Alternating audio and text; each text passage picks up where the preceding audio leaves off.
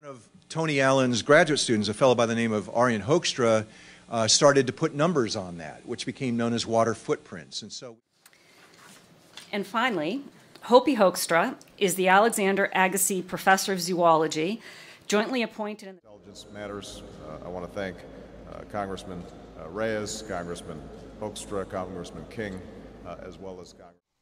as well as U.S. Ambassador Peter Hoekstra. Pete, thank you. Thank you very much.